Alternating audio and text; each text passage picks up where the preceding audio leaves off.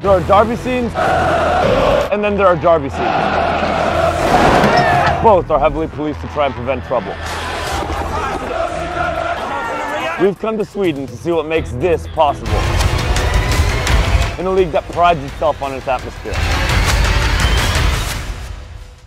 So tomorrow's AIK versus Hammarby. First versus second, and a derby we've been looking to attend for ages. But first things first, we're going to speak to the active fans, some of the fan clubs, and find out the good and the bad of policing in Swedish football. Generally speaking in football, I mean, what do you think the relationship is between football fans and police? I think it's like all around the globe, it isn't the best. The Swedish uh, supporter culture is very young.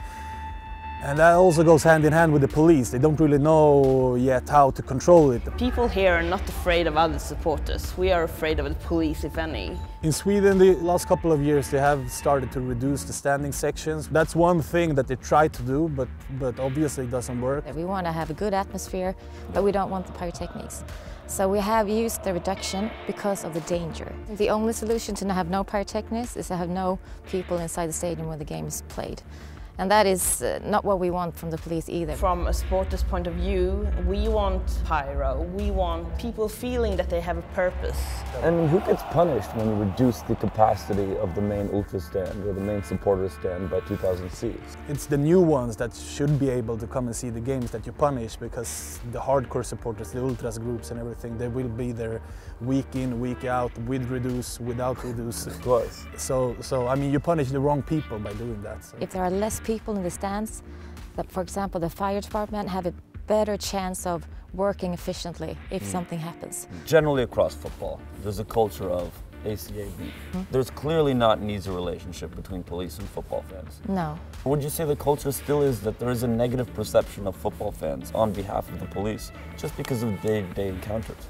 Uh, well, we have the dialogue police, we call them evenemangspolisen.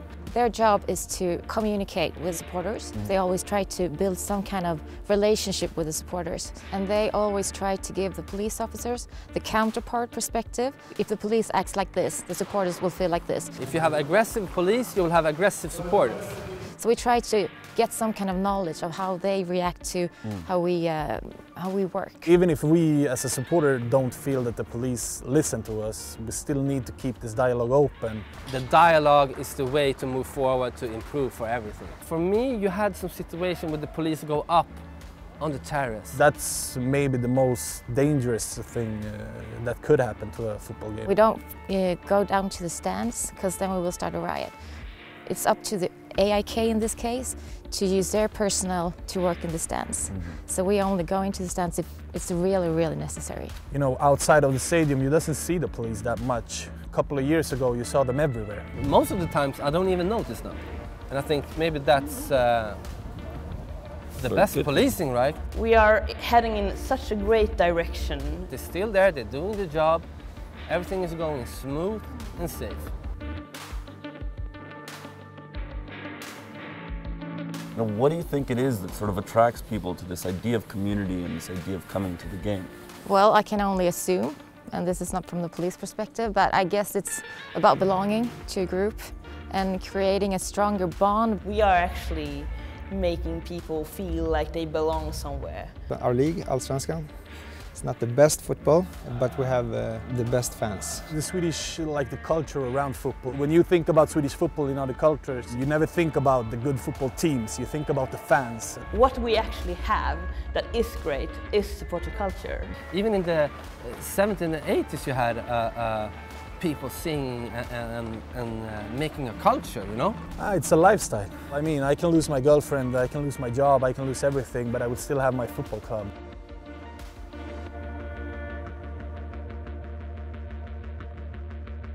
The hate's growing and that's a problem that we need to fix. So the SLOs are, are a key player in this. Yeah, I would say their role is, is huge. A couple of years ago I think the problem was bigger. I think the SLOs have done a massive job to keep the hate going in other directions or to keep it down actually. What are the dynamics of the role of the SLO? Uh, my main thing is service to the supporters and helping them to get the best out of the, the experience. So they understand uh, what the supporters need and uh, what uh, they want. I talk to the supporters, they know I talk to the police. We use the SLO and we try to get some kind of information to the supporters. Our SLOs are uh, from a supporter background, so they are like pre-ultras. Everybody knows these people. They will listen to them because they have their confidence. Right. So it's a great link for us between the supporters and the police officers. But if I didn't have the trust from supporters, I can't work. We have like two SLOs. We have good contact um, before every game, every away game. I know basically how the supporters work. He keeps us updated in what's happening. Okay, where are they? How are they going to the game? How can we help them come there in a safe way?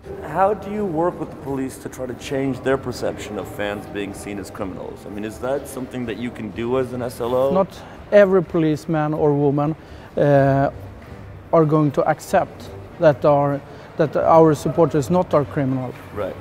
And I mean, you even see them coming in right now, right? They're, they're, they're dressed for a worst case scenario. It's, uh, this outfit, Yeah. I don't like it, but it's uh, about their security also. I, it's, it's my life. I love it. it's very important. Yeah. Perfect, man. Yeah. Thank you so much. Thank you.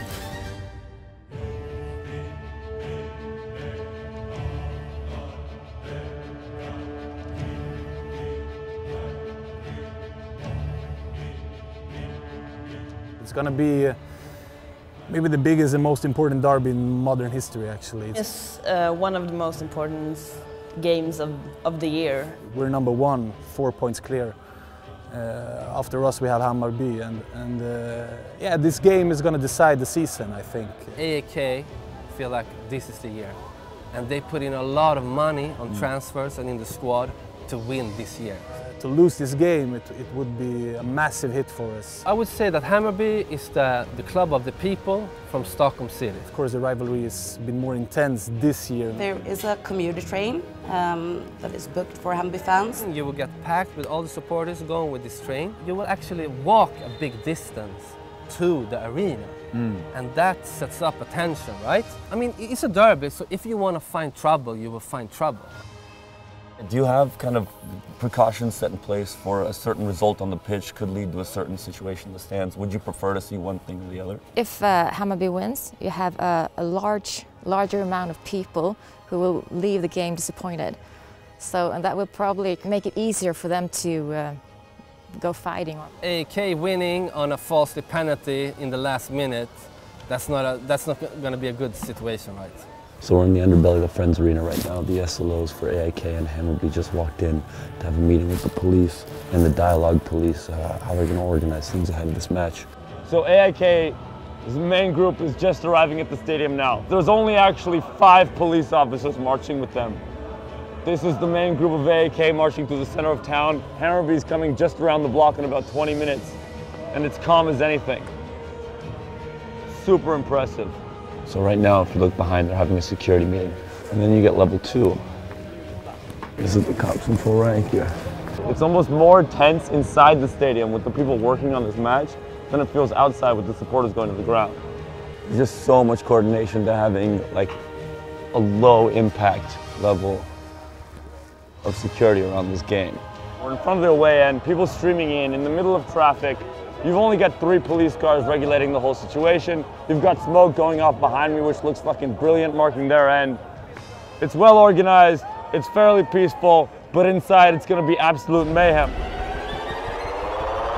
Here it is, it's the big show! Choreography one way, choreography the next way, and get ready.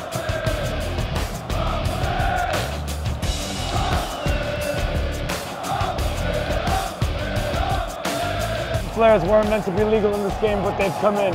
And you know what? They've set the stage for an unbelievable atmosphere.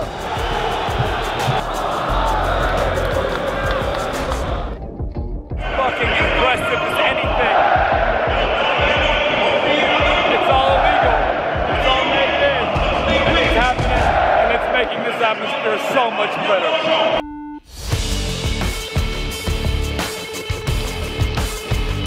Five minutes past three. The game still hasn't kicked off because all the smoke in the arena. They knew coming into it that it would work that way. But you know what? It just looks for more atmosphere.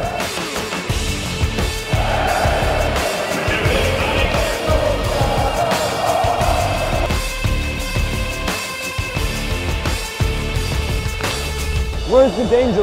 The police behind me look like they're falling asleep.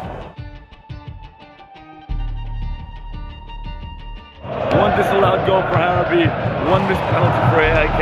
It's just been a back and forth. Hammarby being incredible, AIK being incredible. This is fantastic. On a nil-nil game, the supporters of the narrative.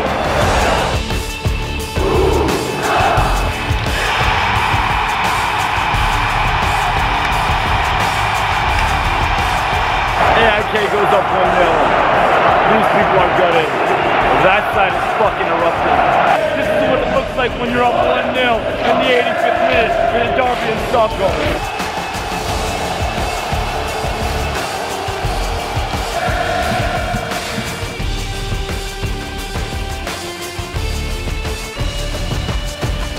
That's it. AIK win 1-0 and mathematically basically win the league this year for the first time in nine years.